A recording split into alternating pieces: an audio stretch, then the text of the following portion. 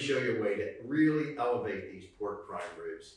Make your guests go crazy. So whether it's a holiday meal or whether it's just a Sunday dinner, really, really simple. Take that pork prime rib steak, pound it out just like I did here. So I'm gonna show you two of my stuffing methods. The first one is our caprese stuffing.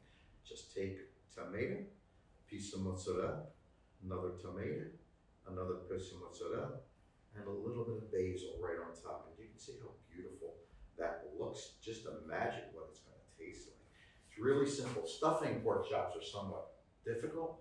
Rolling them is really simple. So I just like to take that, roll that over here, continue to roll, continue to roll. Now I, I don't need toothpicks, I don't need anything to hold it together because that's gonna stay together. I drop that right on my baking dish. And of course, I love taking my garlic parmesan butter. I like dropping some of that right on top. And I want you to see those beautiful herbs that will melt right into that beautiful pork stuffed mozzarella and tomato. now let's move on to something a little bit more folly.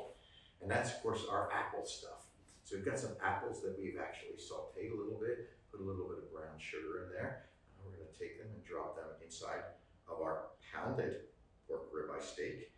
We've got a little bit of Gruyere cheese, that's gonna go right on top of that. Um, and then of course, we've got our maple cinnamon brown sugar butter. Now, I like to just drop just a dollop inside, but then I'll finish the outside. Again, just like I did with the earlier one, just take that, roll it over, tuck the sides in, continue to roll. And you know what you've got? You've got the most incredible, beautiful stuffed with apple and Gruyere cheese. And again, that brown sugar, maple, butter on top. These are gonna go into your oven at about three seventy-five for about twenty to twenty-five minutes. You're gonna pull them out and you're gonna be amazed. More importantly,